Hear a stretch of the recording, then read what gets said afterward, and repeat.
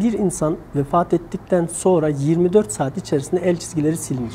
Elimiz ve beynimiz arasında nasıl bir bağlantı var ki avuç içine baktığınız zaman kim olduğunu çıkarıyorsunuz? El çizgilerini oluşturan şey aslında bizim zihnimiz. Beynimizdeki nöron bağlantılarının sinir uçlarının son varış noktası parmak uçlarımızdır. Yani sizin elinizdeki çizgileri aslında zihniniz oluşturuyor. Yaşadığım bir olumsuzluğun hak edişten mi geldiğini yoksa kaderimin içinde mi olduğunu ben nasıl ayırt ederim? Ayağınız taşa takılsa ecir verilecek deniliyor. Demek ki bir hak edişimiz var. Nereden anlıyorsunuz? Avuç içine baktığınızda organların yeri var. Sizin sol eliniz geriye dönük altı neslinizin birikimi. Bakın sol eliniz Ne kadar yaşayacağım elimde yazılı mı? Evet. Bakın elinizi şöyle yapın. Bazı insanların parmağı böyle açılmaz. Şimdi parmak böyle açılmıyorsa bu kişi inatçı demektir. Efendim merhabalar. İddia ediyorum az sonra birçoğunuzun ilk kez duyacağı konu başlıklarıyla karşınızdayız. Fizyonomist Ahmet Burak bizimle birlikte görünenin ötesinde aslında yüzümüz ve avuç içimiz öyle bir konuşuyormuş ki şimdi bu ilmi, bu bilgiyi izninizle ben biraz deşeceğim. Hoş geldiniz. Hoş bulduk.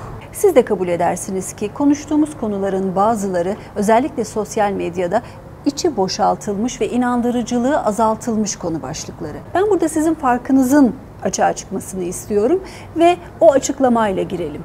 Elimiz ve beynimiz arasında nasıl bir bağlantı var ki avuç içine baktığınız zaman kim olduğunu çıkarıyorsunuz? Şimdi el çizgilerini oluşturan şey aslında bizim zihnimiz. Beynimizdeki nöron bağlantılarının sinir uçlarının son varış noktası parmak uçlarımızdır. Yani sizin elinizdeki çizgileri aslında zihniniz oluşturuyor. İnsan bir şey düşünmeden yaşayamaz zaten. Yani bir şey önce düşünürsünüz, sonra söylersiniz, sonra yaparsınız. Düşünceler, söyleme, söylemler eyleme döner.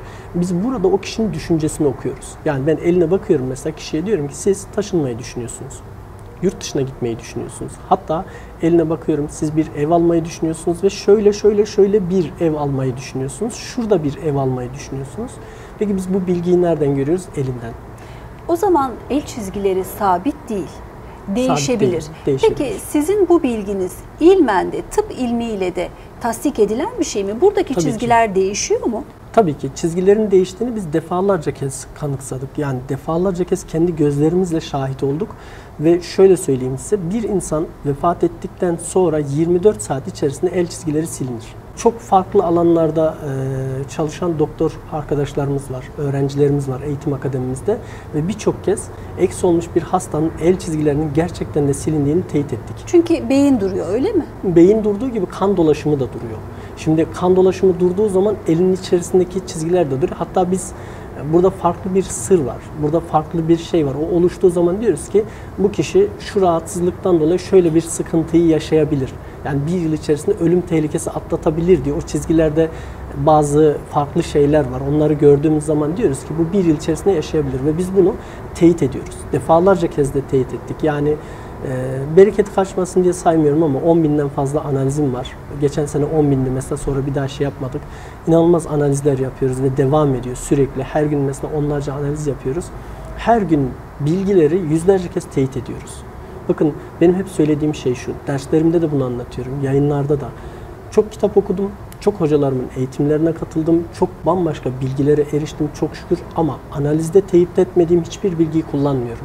Nereden anlıyorsunuz? Avuç içine baktığınızda organların yeri var. Orada bir bir ahraz, bir sorun yansıyor ve ona göre mi söylüyorsunuz?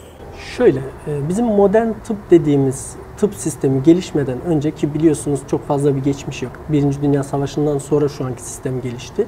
Peki ondan önce de hastalıklar tespit ediliyordu, insanlar tedavi ediliyordu. Peki nasıl oluyordu? Yani biz sudan çıkmış balık değiliz. Biz bir anda bu tıp sistemiyle karşılaştık ve bildiğimiz bütün her şey bir tarafta kaldı. Şimdi binlerce yıllık öğretiler var. Bakın iridoloji diye bir şey var. Bir insanın gözünden hastalığını tespit edebilirsiniz. Biz insanları gözünden okuyoruz. Buradan geliyor. Veya insanın yüzünde organların yerleri vardır. Veya elinizde organların yerleri vardır. Şimdi elinizde hangi organda sıkıntı varsa biz bunu doğrudan teyit ediyoruz. Ve daha sonra diyoruz ki çizgilerden hangi tarihte bir hastalık ya da bir sorun, bir sıkıntı yaşayacaksa bakın şu rahatsızlıktan dolayı şu tarihte yani şu sebepten dolayı şu tarihte şöyle bir rahatsızlık yaşayabilirsiniz ki yaşanmış şeyleri defalarca kez teyit ettik. Çizgi belirginleşiyor ya da siliniyor mu? Şöyle Şekil e, mi değiştiriyor? elde e, dört tane ana çizgi var. Akıl çizgisi, kalp çizgisi, hayat çizgisi ve kader çizgisi. Bu dört ana hat kader çizgisi hariç sabit kalıyor ama inceliyor, kalınlaşıyor, üzerinde etki çizgileri çıkıyor ve bu durumu değiştiriyor. Elde iki tane çizgi yokken silinebilir, bakın yokken geri gelebilir, varken silinebilir. Bu ikisi sağlık çizgisi ve kader çizgisidir. Zaten sağlık çizgisinden kişinin biz sağlık durumunu gözlemliyoruz. Kader çizgisinden de doğru eş ve doğru işi seçip seçemediğini, hatta hangi tarihte nasıl bir evlilik yapabileceğini biz oradan öngörebiliyoruz. Aynı zamanda iş tercihlerini de görüyoruz. Şu tarihte bu bulunduğunuz mevkiden başka bir mevkiye şöyle bir şey geçebilirsiniz diye ki bunda da yani %98 bir şeyimiz var. Hiç şaşmıyor yani şu ana kadar. Çünkü çizgileri doğru okuduğunuzda sizi bilgiye götürüyor. Bu bir yazı dili aslında. Her bir çizgi bir harf ifade ediyor. Harflerden kelimeler, kelimelerden de doğru cümleyi kurduğunuzda oradaki bilgiye erişiyorsunuz ve çizgiler değişiyor. Bakın e, eğitime giren öğrencilere şunu söylüyorum. Elinizi diyorum takip edin. Kariyer çizgisi aslında kader çizgisidir ama kader çizgisini güneş çizgisi destekler. Çünkü güneş çizgisi kişinin aynı zamanda eğitim hayatını, öğrenim hayatını ya da nasıl bir iş yapabileceğini gösterir. Nasıl bir iş yapacağını biz güneş çizgisinden görüyoruz. Şimdi güneş çizgisini doğru okuduğunuzda o kişinin geri kalan bütün her şeyini okuyabiliyorsunuz. Yani nasıl bir eğitim alacak, nasıl bir işe mail edecek. Ben diyorum ki mesela siz insanlara hitap edeceksiniz siz insanlara ya da şunu yapacaksınız ya da bunu yapacaksınız. Bunların hepsini biz güneş çizgisi, kader çizgisi denkleminden okuyabiliyoruz ve bu çizgi değişiyor. Güneş çizgisi aynı zamanda Apollon çizgisi diye bilinir. Bakın bu bizim elimiz. Şimdi şurası Apollon tepesi ve buradan çıkan çizgiye biz güneş çizgisi diyoruz. Bir insanın elinde güneş çizgisinin fazla olması daha fazla mesleki yeteneği olduğunu veya daha fazla eğitimler aldığını yani bir insanın kaç üniversite bitirdiğini veya sonradan okul okuyup okumadığını ya da sonradan bir meslek edinip edinmediğini biz buradan görebiliyoruz. Ya da eşinin onun çalışmasını istemediğini. Diyelim ki güneş çizginiz şöyle Luna Tepesi ile mental Mars arasına doğru geliyor. Bu kişi topluluklara hitap eder, insanlara hitap eder. Aynı zamanda mistik, manevi, ezoterik konuları kullanır ve insanlarla iletişim kurar. Kim gibi? Mesela siyasetçiler gibi topluluklara hitap eder. Ya da benim gibi ya da sizin gibi ya da psikologlar gibi. Şimdi burada mesela bu kişinin bir belediye başkanı olabileceğini de farklı şeylerden görebilirsiniz. Ama bu güneş çizgisini şöyle bir evlilik çizgisi keserse eşi o kişinin çalışmasını istemiyor demektir. Bu her bir nokta konuşuyor. Her bir nokta. Yani önce harfler, daha sonra kelime, daha sonra cümle. Sizin sıkça altını çizdiğiniz bir ifade var. Hak edişler. Evet. Ve o hak edişler başıma gelen güzellikleri ya da sıkıntıları oluşturuyor. Peki yaşadığım bir olumsuzluğun hak edişten mi geldiğini yoksa kaderimin içinde mi olduğunu ben nasıl ayırt ederim? Herkes gücü yettiği kadar bir şeyler yapar ve bunun bir neticesi vardır. Bunu yaşamasının nedeni de şudur. Yaptığınız şeyin ecrini, karşılığını burada görürsünüz. Hediye olarak karşılığını öbür tarafta görürsünüz. Nedir bu ecir? Ayağınız taşa takılsa ecir verilecek deniliyor. Demek ki bir hak edişimiz var. E bir de kötü hak ediş var. Düşünün ki bir borcunuz var. Restoranda ödemeniz gerekiyor. Mesela gişede bir kural var. Gişeden geçtiniz paranız yok. 15 gün içinde ödemezseniz 3 katını alıyorlar. Hatta üstüne vergi koyuyorlar, faiz koyuyorlar, bir şeyler yapıyorlar. 10 lira, 1000 lira oluyor. Doğru mu?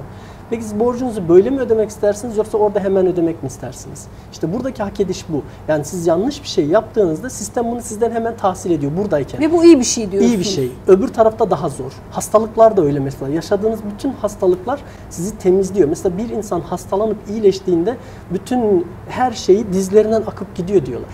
Beyni kategorize ediyorsunuz ve diyorsunuz ki sağ beyin babanın, sol beyin annenindir. Evet. Bu ne demek?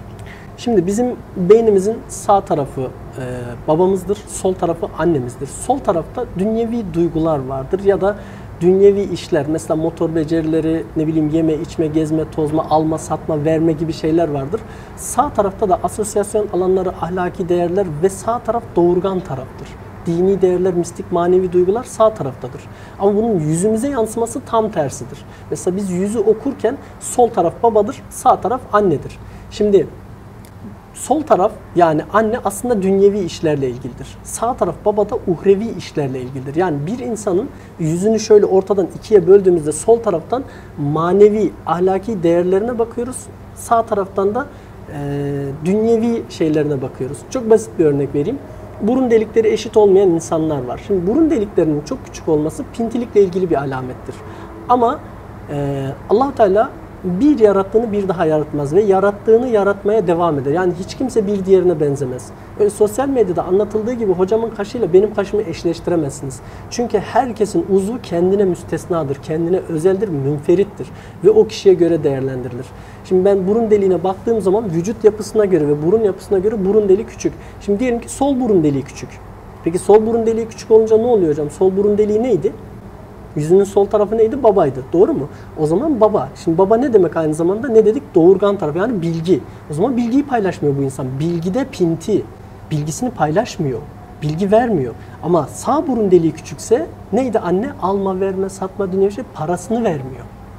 Bakın hangi konuda pintilik yapıyor? Biz yüzünden doğrudan okuyoruz onu. Veya gözle ilgili. Mesela hangi gözü büyük, hangi gözü küçük.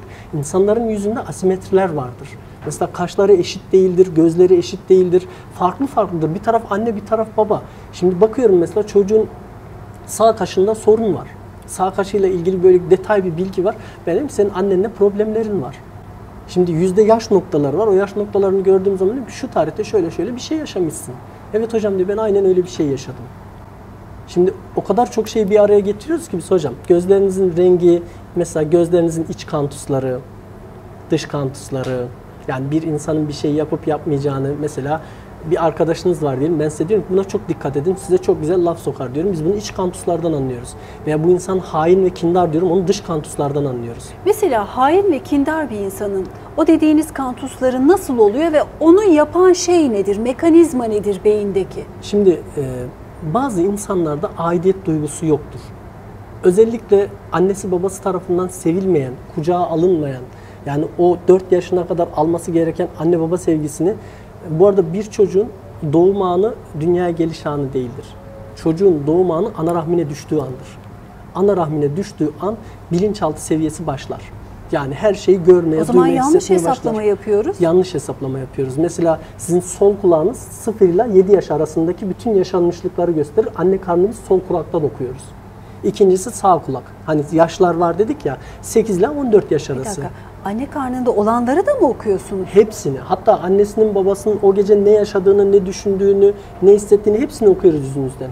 Bir kulak memesinin pozisyonundan 9 aylık süreçte ne yaşadığını... Kulağın tamamından okuyoruz. Mesela kulağı çok değişik olanlar var. Bu annesi babası genellikle ayrılmış olan ya da hiç anlaşamayan insanlara dikkat edin. Onların çocuklarının kulakları çok değişiktir böyle. Nasıl değişik? İç helix yapısı dışa çıkıntılıdır yani ve sivridir. şurası dışa mı çıkık? Tabii ki. Şimdi bakın kulağınızda sizin şurada şöyle bir çeper var gördünüz mü? Bu mücadele evet. demek. Bu insanlar dirayetli olur, mücadeleci olur. Şimdi onlarda o yok. Çünkü bu olmadığı zaman aynı zamanda çok hassas oluyor ve söylenenlerden çok çabuk etkileniyor. Şimdi bu anne ile ilgili. Çünkü annesi de ona hamileyken babasıyla sorun yaşamış. Bu ne demek? Babası kırıcı birisi demek. Şimdi baba kırıcı birisi ise anne bundan etkilenmişse anne muhtemelen şeker hastası demektir. E anne şeker hastası oluyorsa alıngan, naif, zarif birisi o zaman anne oval yüzlü ya da üçgen yüzlü. Anneyi bu kadar zorladıysa baba da muhtemelen dikdörtgen yüzlü. Ben size hem annenin hem babanın tipini tarif ederim bu sefer. Alın size bilgi. Anne karnındayken hormonu mu değişiyor da Yok. buraya müdahale ediyor? Bu, buna şekil veren güç nedir? Ben Düşünce. onu anlamakta zor. Hah. Şimdi bakın e, anne bir fırındır. Baba da ham madde. Kek yapacaksınız. Keki fırına verdiniz. Fırını fazla açarsanız ne oluyor? Kekin bir tarafı kabarıyor, bir tarafı kabarmıyor ya da yanıyor. E şimdi siz bunun için fırına kızabilir misiniz? Kızamazsınız. Fırının ayarıyla kim oynuyor? Baba. Çocuk annenin zayıf organdır. Babanın da sırrıdır. Heh. Evlat babanın sırrıdır. Yani o çocuğu gördüğün zaman ben baba ne düşünüyor görüyorum ne yapıyor anlıyorum. Çünkü çocuğun elinde bazı alametler, bazı işaretler oluşuyor ve o işaretler babanın ne yaptığını gösteriyor. Babanın anneye ne yaptığını. Çocuğu gördüğümüz zaman çünkü mesela çocukta bir rahatsızlık var diyorlar ki işte benim çocuğumda şu rahatsızlık var. Çocuğun bir suçu yok. Çocuğun bir rahatsızlığı yok. Anne ile ilgili.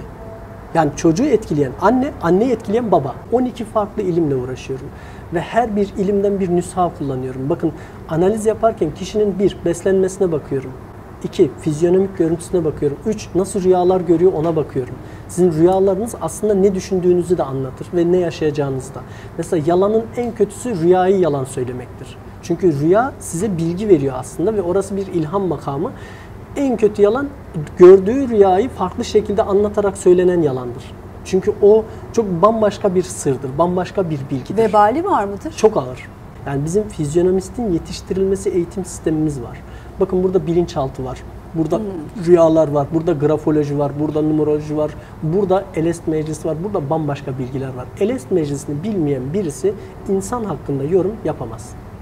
Yani Elest Meclisi o kadar önemli ki oradaki sırrı bilmeniz gerekiyor. Yoksa bu çizgiler bilgiyi teyit etmek için. Peki Eles Meclisi dediğimiz ruhların toplaştığı yer. Ruhlar Onunla fizyonomi ilminin nasıl bağlantısı var? Şimdi Kuramadım. Elest Meclisi'nde size bir görev veriliyor. Bir insanın doğum tarihi o kişinin dünyaya geliş nedenini gösterir ve biz eline baktığımız zaman o kişinin dünyaya neden geldiğini görüyoruz. Görevinin ne olduğunu görüyoruz. Şimdi Elest Meclisi'nde sizin bir özelliğiniz var. Size yüklenen bir özellik. Mesela siz diyelim ki dördümüzde bir yere gideceğiz. Siz dağa gideceksiniz, hocam bir plazaya gidecek, ben denize gideceğim, hocam da havaya gidecek. Ona kanat veriliyor. Ona yat veriliyor. Size arazi aracı veriliyor. Bana da normal araç. Yani yapacağımız işe uygun donanım yükleniyor bize.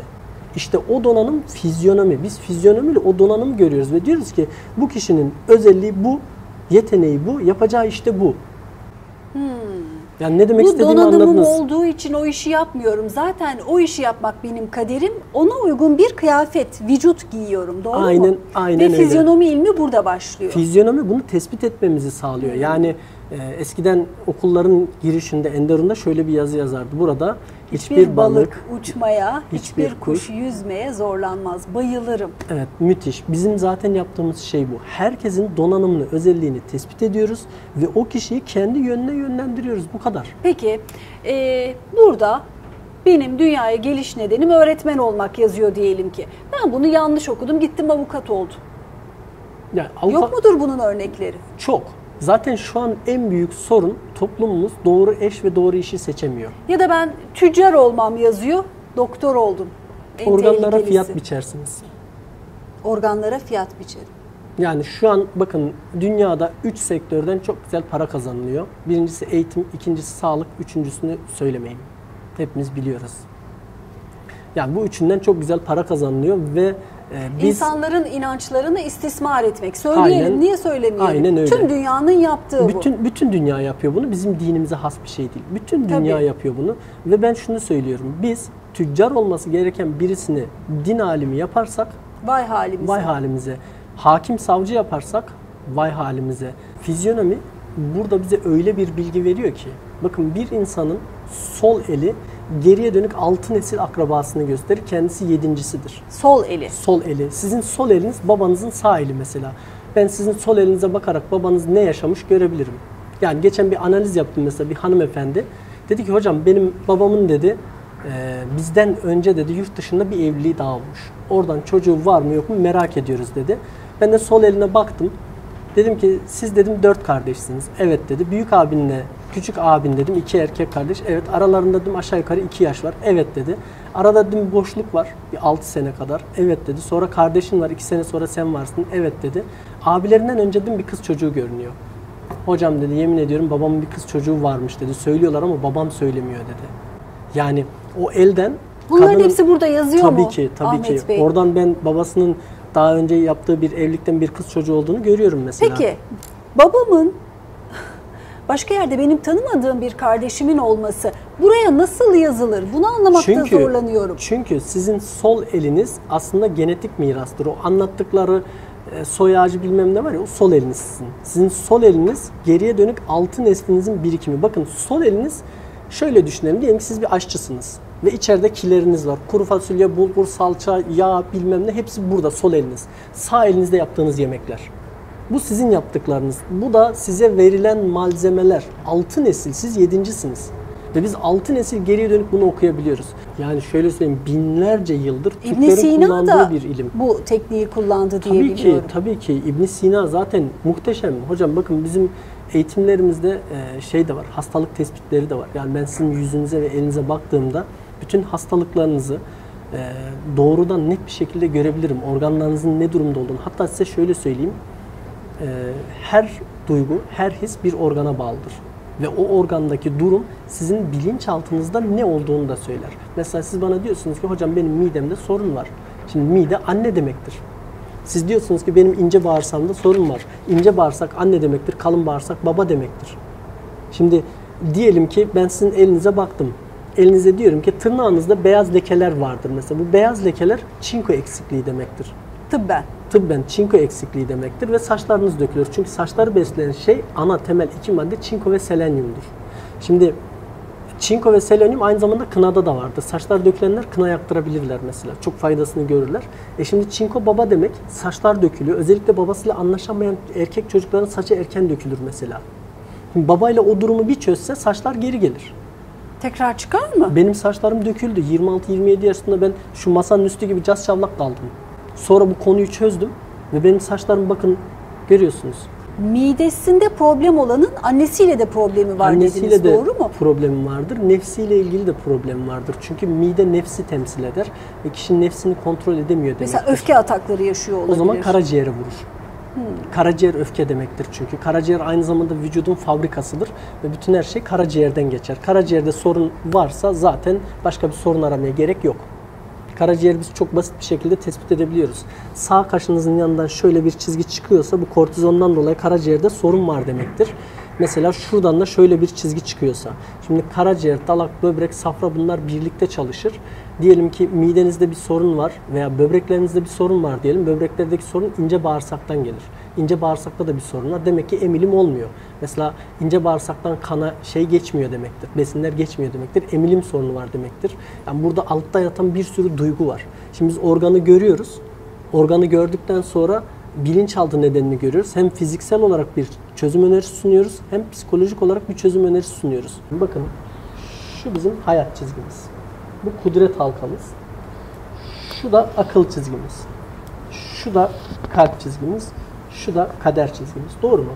Eli yandığı için bütün çizgileri silen insanlar var. Sağ eline bakarım. Şey sol eline bakarım. Sol elde yoksa ben şöyle bir şeyle karşılaştım. Sağ e, sağ eli ve sol ayağı yoktu. Kişinin engelliydi. Çok da sevdiğim bir insan.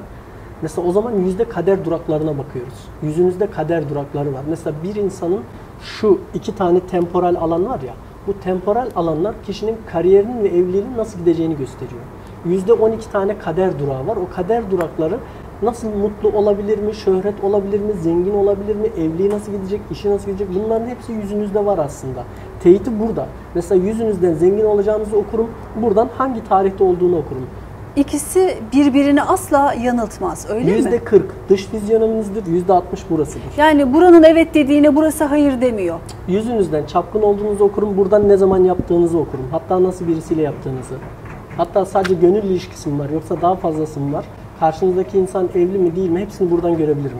Eğitim veren bir sürü meslektaşım var. Hepsini saygıyla selamlıyorum. Onlar da anlatıyorlar çizgileri. Kendi çaplarında işte akıl çizgisi şu işe yarar, kalp çizgisi bu işe yarar. Peki neden bizden mezun olanlar analiz yapıyor? Neden bizden mezun olmayan hiç kimse analiz yapmıyor? Neden? Yıllardır eğitim veriyorlar mesela. Neden bir tane fizyonomist çıkmadı? Bir tane daha onlardan çıkmadı. Neden? Çünkü anlatıyorlar. Biz öğretiyoruz. Buradaki ayrım bu. İşte o beyni çalıştırma sistemi. Şimdi siz hissediyorsunuz anında ve çizgiyle de onu teyit ediyorsunuz aslında. Ne kadar yaşayacağım elimde yazılı mı? Evet.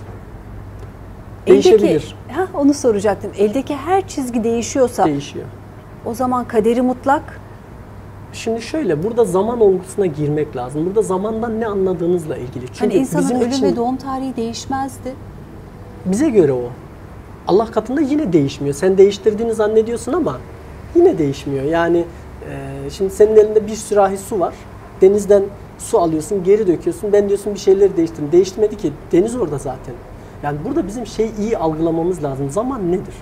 Bakın aslında Kur'an-ı Kerim'de anlatıldığına göre kıyamet koptu. Cennetlikler cennete, cehennemlikler cehenneme gitti. Hatta cennetlikler cehennemlikleri görmeye gitti.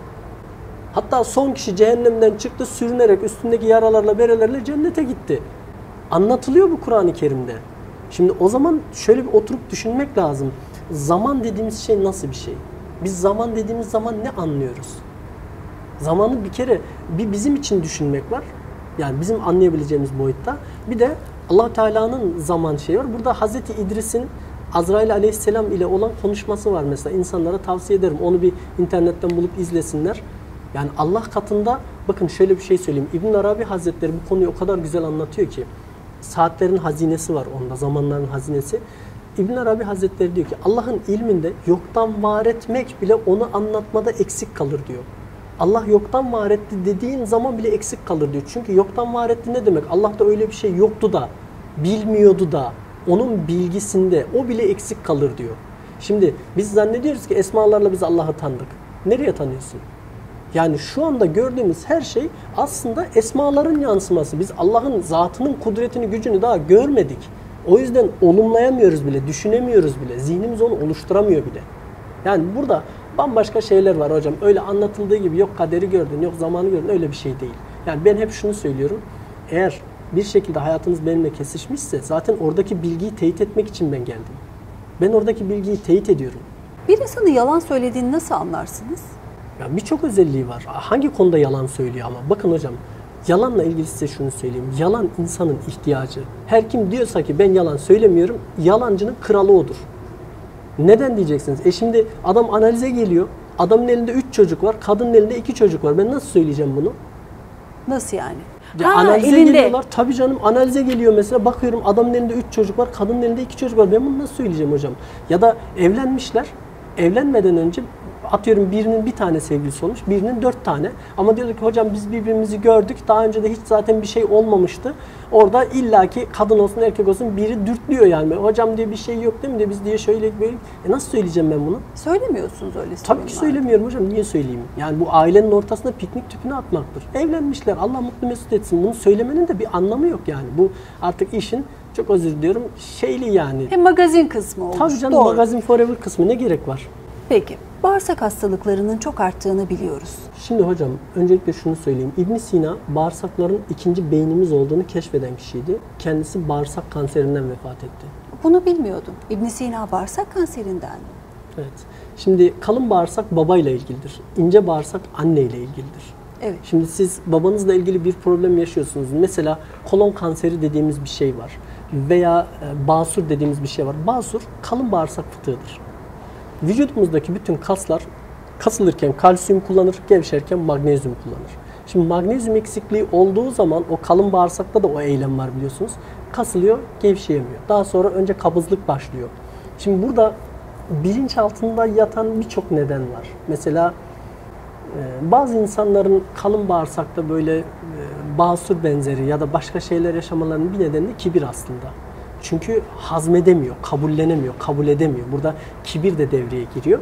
Her hastalığın 7 temel bilinçaltı nedeni vardır. 7 duygu vardır. Biz hangi duygunun o insanda yoğun bir şekilde sirayet ettiğini bulmaya çalışıyoruz. Yani kalp rahatsızlığının 7 temel nedeni var mesela. Bunlardan bir tanesi yine kibir. Bir tanesi farklı bir şey onu söyleyemem. Bir tanesi mesela insanların arkasından ağır hakaretler mesela Söyleyemem küfürbaz dediğiniz şeyler cinsel içerikli bir şey mi? Evet, evet. İçinde sapkınlık olan bir şey mi? Aşağı yukarı. Yani biz onu mesela e, diyoruz ki diğer alametleri gördüğümüz zaman onu teyit ediyoruz. Bakın bunu şöyle anlatayım ben size. Çok basit bir örnek vereyim.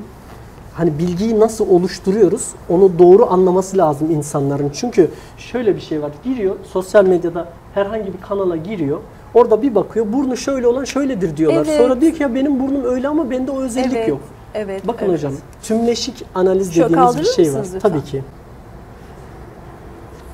Şimdi bu bir yıldız. Yıldız semboller içerisinde en güzeldir. Orta parmağın altı hariç bulunduğu her yerde muhteşem etki gösterir. Orta parmağın altında yıldız varsa bu kişinin vahşet dolu bir ölüm yaşayabileceğini gösterir. Ama önce tanınır, bilinir olur. Herkesin duyabileceği şekilde Saddam Hüseyin gibi, Usame Bin Laden gibi, Napolyon gibi veya Hitler gibi böyle herkes tanır, bilir. Daha sonra da vahşi bir şekilde ölür demek ama diğer alametler desteklerse. Şimdi serçe parmağın altında bir yıldız. Biz bu yıldızı gördük. Şimdi serçe parmağımız bizim aynı zamanda bilim parmağımız. Stüdyoda Bilimle ilgili- herkes serçe parmağına Evet. bakıyor. Ticaretle ilgili, bilimle ilgili, ticaretle ilgili, hitabetle ilgili. Bakın işaret parmağı iletişimdir. Serçe parmak hitabettir. Sizin hitabetiniz çok güçlü mesela. Sesinizi o kadar güzel kullanıyorsunuz ki kelimeleri konuşurken ses tonunuzla ona anlam yüklüyorsunuz. Burada yazıyor mu o da? E, tabii serçe parmağınızdan görüyorum ben onu. Çok düzgün bir serçe parmağı, düz bir serçe parmağı. ve e, yüzük parmağınızın ikinci boğumunu geçiyor. Benimki de öyle. Bu cümleyi kurarken mesela neden öyle söylüyorsunuz? Burada vurgu yapıyorsunuz. Size onu yaptıran şey serçe parmağınız mesela. Aynı zamanda serçe parmak cesaret demek. Çünkü organ dilinde de böbreğe sirayet ediyor. Böbreklerinde sorun olan insanlar korkuları olan insanlardır. Biz onu serçe parmaktan okuyoruz. Korkuları olduğu için mesela gerçekleri söylemekten sakınır. O yüzden biz sizin biraz önce söylediğiniz şeyi serçe parmaktan okuyoruz. Baş parmağını tuttunuz ve sende eklem romatizması var dediniz. Dediğiniz kişi doktordu.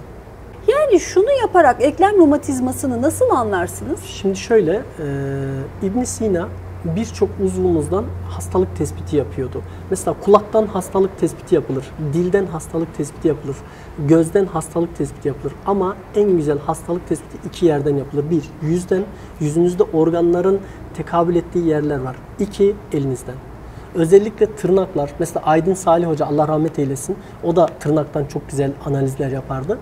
Elinizde o kadar çok bilgi var ki, yani şeyin dışında fizyonominin bir de sağlık bölümü var ki, yani anlat anlat bitiremem. Saatlerce anlatırım samimi söylüyorum. Elinizde biz o kadar çok hastalığı görüyoruz ki. Orada benim kadına onu söylememi gerektiren bir diğer şey şuydu. Bakın tırnağını tuttuğumda tırnağında çöküklük vardı burada. Hmm. Şimdi bu tırnakta çöküklük var bir. Tırnağı eli açılmıyor. Bakın elinizi şöyle yapın. Bazı insanların parmağı böyle açılmaz. Şimdi parmak böyle açılmıyorsa bu kişi inatçı demektir. İşte inatçı olan insanların omuriliğinde sorun başlar inatlaştıkça mesela boyun düzleşmesi, boyun fıtığı, bel fıtığı bunların ana nedenlerinden bir tanesi inatlaşmak ya da mücadele etmektir. Hayata erken başlayan, çocukluğundan itibaren hayatı çalışmakla geçen insanlar o yüzden fıtık olurlar. Peki tırnağın burasında beyaz aylar oluyor. Luna. Peki bu beyaz ayın olması ne anlatır, olmaması ne anlatır? Bu bağışıklık sistemini yani immün sistemi gösterir. İmmün sistemin doğru çalışıp çalışmadığını gösterir. Olmalı mı beyaz ay, Tabii ki. olmamalı Bütün mı? parmaklarda olmalı aslında. Çünkü bağışıklık sistemi doğru çalışmadığı zaman kişi doğru düşünemez aynı zamanda. Yani bağışıklık sisteminiz doğru çalışmıyorsa doğru düşünemezsiniz. Aslında insanı hasta eden düşüncelerdir. Şimdi biz bu lunaları görmediğimiz zaman diyoruz ki mesela bir çocuk gördük 12 yaşında 13 yaşında bir kız çocuğu diyelim. Lunalar yok parmağında. Özellikle tırnaklarda mora çalmış mesela bu ciddi sorun var demektir. Annesiyle ciddi problemler yaşıyor demektir. Peki yüz ifademden buraya kadar anlattıklarınıza sizce ben inandım mı? İnanmadım. Aslında şöyle, e, siz biraz realistsiniz, gerçekçi ve şey istersiniz, daima bilimsel bir temel istersiniz. Ben size şunu söyleyeyim. Bilimi ve ilimi yaradan Allah'tır ve bunun ikisi iç içe çalışır. Yani şu an o kadar çok e, akademisyenle, profesörle, hocalarımla çalışıyoruz ki bununla ilgili çok ciddi çalışmalar yapıyoruz. Fazla değil. Bir sene, bir buçuk sene sonra herkes, bakın bu yayını unutmayın, burayı da not alın. Herkes bu ilmin neleri görebileceğini ve ne kadar işimize yaradığını anladığında gerçekten de biz çok yol almış olacağız.